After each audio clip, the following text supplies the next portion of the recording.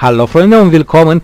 In diesem Video will ich euch zeigen, wie wir wirklich sehr einfach und auch ziemlich schnell Bilder und Videos von unserem Smartphone auf unserem Windows 10 PC übertragen können. Das gilt hier sowohl für Android als auch für iOS.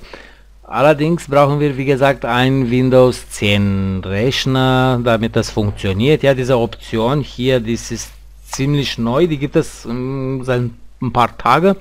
Microsoft hatte das schon angekündigt letztes Jahr, dass äh, das kommt. Nun ist es jetzt da.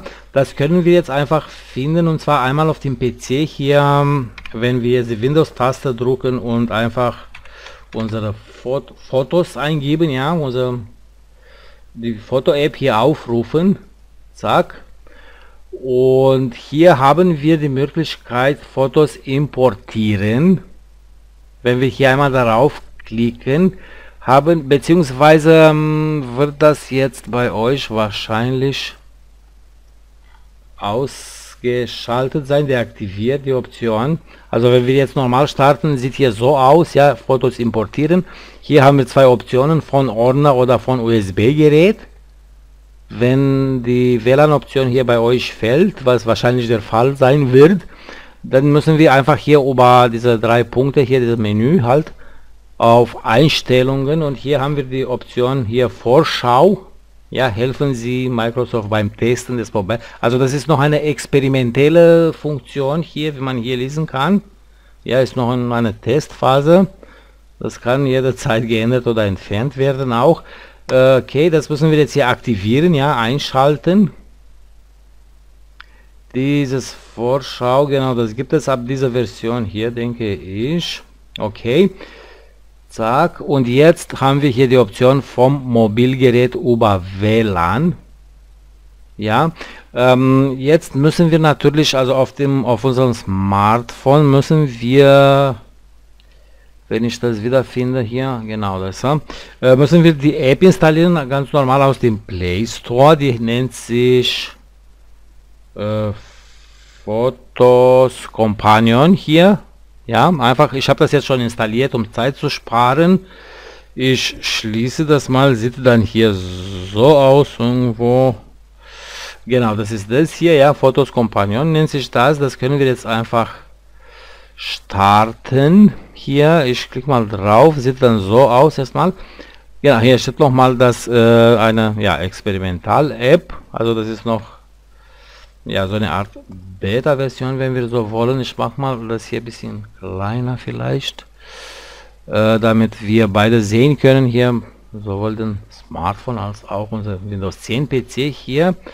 Genau also das ist jetzt die windows 10 maschine und das ist mein smartphone hier und hier haben wir die Möglichkeit genau also importieren hier von Mobilgerät jetzt ist okay äh, von Mobilgerät über WLAN also ganz wichtig ist hier dass beide Geräte im selben Netz sind. Ja die müssen an den gleichen Access Point gleichen Router äh, verbunden sein. Sonst funktioniert das nicht ich klicke hier einmal drauf, zack, über WLAN und schon bekommen wir hier diesen QR-Code hier angezeigt. Und auf dem Smartphone haben wir jetzt hier, hier unten, ja, Send Fotos. Da öffnet sich jetzt der, oder er startet der Scanner. Wenn das jetzt funktioniert, hier, zack, genau, die Cam hier und wir müssen einfach den QR-Code hier können wir einfach Bilder oder Videos auswählen. Ich mache mal jetzt die beiden hier als äh, ja, Beispiel und hier auf dann.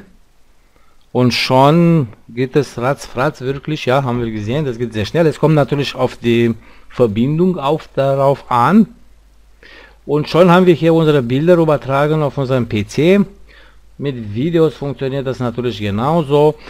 Ähm, genau, jetzt wurde hier ein Ordner erstellt auch. Ich mache mal das wieder ein bisschen größer. Wenn wir jetzt nicht jedes Mal hier über dieses Fotoprogramm aufrufen wollen, die Bilder und Videos, dann haben wir hier irgendwo in den Bilder Ordner hier, genau, also hier unser, ja, diese, ich gehe mal, genau, unter Bilder haben wir hier Imported from Photos Companion und schon haben wir jetzt hier unsere Bilder äh, auf dem Rechner. Ja, genau. Also das geht sehr schnell, wie wir gesehen haben, und auch ziemlich einfach. Ich fand das ganz nützlich, vielleicht diese Option. Ich ja, hoffe, dass es für euch interessant war oder ich euch weiterhelfen konnte damit. Wenn ihr Fragen oder Anregungen habt, einfach einen Kommentar hinterlassen. Danke fürs Zuschauen und bis zum nächsten Mal.